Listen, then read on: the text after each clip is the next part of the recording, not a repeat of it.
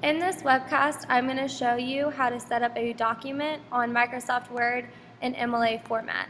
So the first thing you want to do is you want to insert your header. So you can do that two ways. You can either double click up where the header should be, or you can go to View, Header, and Footer. And that'll also take you to your header. Once you get there, you're going to go into the header footer format, or you can go to Insert, Page Numbers, or you can just go into this little um, section right here for the header and footer and put the page number in there. After that, you want to type in your last name.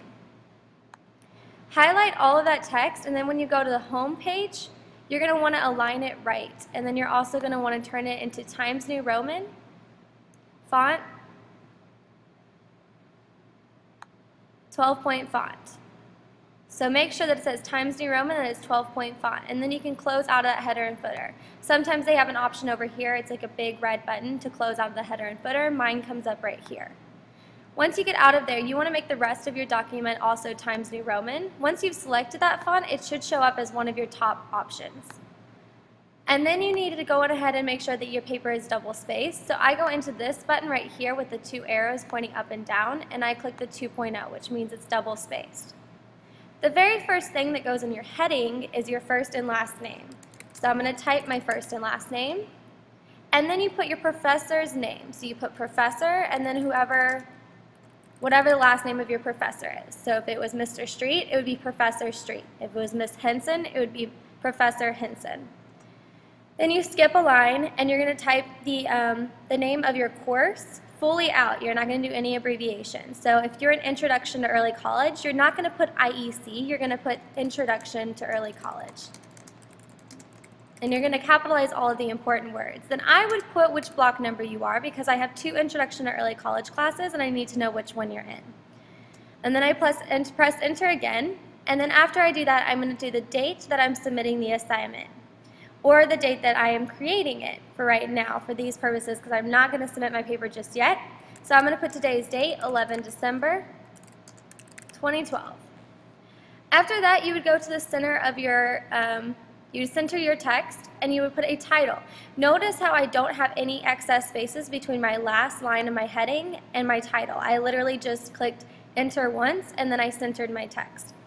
And let's say I'm doing my paper on how illegal downloads have changed the music industry. Notice that I capitalized all of the important words, but not any articles like a and the, anything like that. And then I click enter again to go down. And then I'm going to left align my text, which is how the entire rest of my document should be aligned, except for my works cited page. I would tab over one time, and I would start typing my attention grabber. Now we talked about attention grabbers in class, um, so I'm not going to talk about them right now. What right now what I'm going to do is I'm going to show you how to set up a works cited page. So let's say that I type some stuff into here, and then I'm done, and then I want to insert a page break in order to get my works cited page on its own page. So I'm going to do insert, and then I'm going to do page break. Break, page break. Now it's taken me to a completely new page, and it's taken me to the top of that page. So I'm going to center my text and I'm going to give it the title of Works Cited. Then I pressed enter one time and then I left align my text. And then I want to make sure that in my Works Cited page I have the reverse indent. So I'm going to take my little hourglass over here where the margins are and I'm going to move my bottom part of my hourglass over to the half inch mark. My top part of the hourglass needs to be here. Sometimes when you move this one, the top one will follow with it, so you would have to go on ahead and click this one by itself and move it back to where it needs to go. Now to create a works cited page, you're going to have to know a few things about the um, source that you're trying to cite. You're going to have to know the author's name if there is one. You're going to have to know the name of the website, the title of the article, and also the publisher's name, the publishing date, and the date that you accessed this article. So I'm going to show you an example of how I would find that on a website. So let's say that over here, I'm going into, I'm going into Google search and I'm going to search illegal download music industry. Notice that when I'm searching these terms, I'm just using the important words or key phrases that, I use in, that I'm using for my um, entire topic. I'm not using a question. I'm not saying how does illegal downloads affect the music industry. That would bring a part of a lot of opinion pieces. If I did that, I'll show you that I'm going to get a lot of blogs. So, how does illegal download affect the music industry? And when I do that, I'm going to get a lot of blogs. So let's see. eHow is kind of like a bloggy thing. Free music and its effects, well, that might not be too bad. StudyMode.com, I saw a lot of you citing this. This is actually not something that you can cite. This is a website in which you can purchase a paper. This is completely not 100% um, what a teacher wants you to do, so please never use this website inside it. Um, but usually when you do this type of thing, it brings up a lot of blogs. And you know what blogs look like? They say blogspot at the top of them, and they're just like this one right here, blog.zentro.com. And that kind of tells you that, you know, you've searched something that's just not very reliable. Anything that's a blog is not reliable. So let's go back and let's take out our question and let's just do our key terms that are important. So illegal downloads and music industry and no question mark.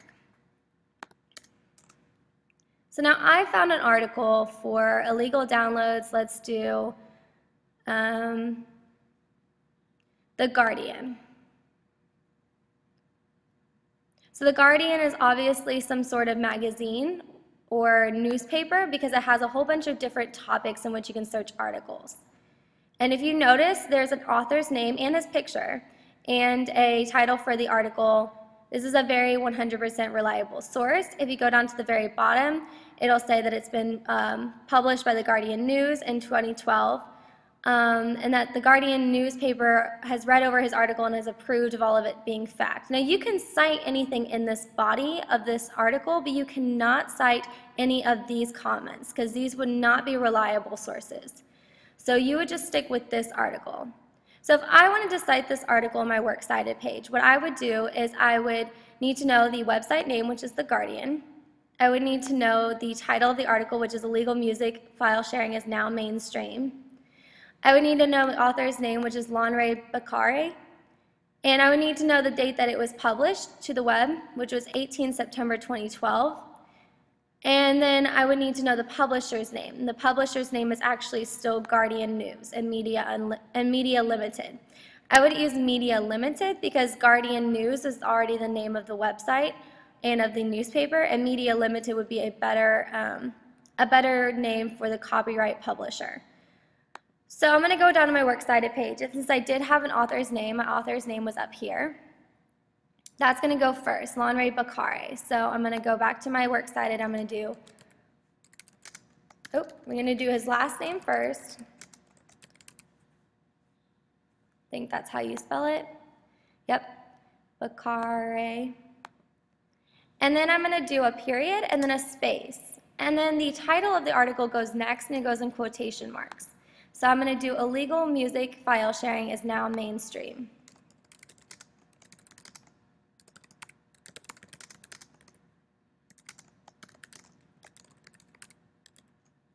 Then I close, before I close my parentheses, I actually add my punctuation. So in this case, it's just a period.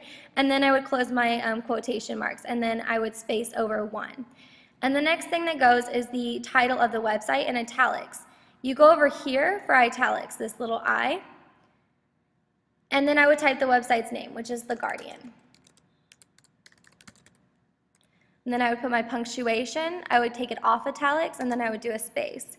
The next thing is the, going to be the publisher name, so I'm going to use the media company, or Media Limited as the publisher name. Go back, Media Limited. Then I would put a comma and then the publishing date. So this article was published on Tuesday, 18 September 2012. So I would put 18, and then I would do September, the abbreviation for it, and 2012. Anytime that you have a month that is long, not like March or May, but longer like September or October, you would use the abbreviation for it. Then you'd put a period and a space, and then you'd put web and then another period in another space, and then the date that you accessed it. You don't have to put accessed, you just put the date. So today's date is 11 December 2012. and then I would put a period and that's it. Now I have cited that source. So now anytime that I want to use a quote or some information from this article, I know that after my information, I need to put Bakare in parentheses after that. Or I need to use his name whenever I'm citing that source since I do have the author's name. Now remember, if you don't have an author's name, let's pretend that he doesn't exist and that we just had the title of the article. If we just had the title of the article, we would just take out the author's last name and we would start the citation with the name of the title of the article. Now what I'm going to show you is how I would search for a topic in a search and how I would find a, how, how I would find information to create a thesis statement. So what I would do is I would go to google.com and I want to do my article on illegal download and music industry. Once I go there, I can read a few articles on illegal music and how it's affected the music industry. So this is the one we just looked at. Um, this one is talking about how does illegally downloading music impact the music industry? This would be a great article because it's talking about exactly what I am trying to talk about in my paper. And the really great thing about this article is that it gives me little topic sentences that tell me different things, different effects that the, the legal downloading has had on the music industry. So specifically, it's caused financial losses, layoffs, investment in new music, and new marketing strategies. I think the three I want to choose as my three main points will be financial losses, layoffs, and new, market new marketing strategies. So what I would do is I would go back to Google and now I would have more of a direction for when I'm searching. So I'm going to do uh, illegal downloads, music, and then I'm going to do um, layoffs, industry, for the music industry. And then I find a couple of different articles, and I'm going to look through these little um, snippets that they give us of them to try and figure out if I can find anything about how it has caused to leading mass layoffs in the music industry. I would like this site, but except for its Wikipedia, and that's not a really reliable website, so I'm not going to use that. Let's see if I can find one really good source. So here's one. This is a reliable website, I know, because, let's see. If you look at the entire page, you can kind of see, oh, nope, never mind, this is not. This is a blog. WordPress is a blog, so we're not going to use that one. Let's go back up. Let's instead of doing layoffs, let's do loss of jobs.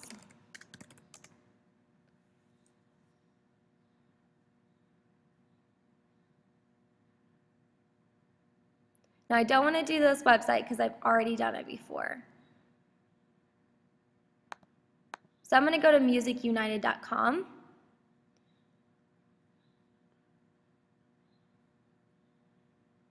It's an educational program, so I know that it's actually a reliable website.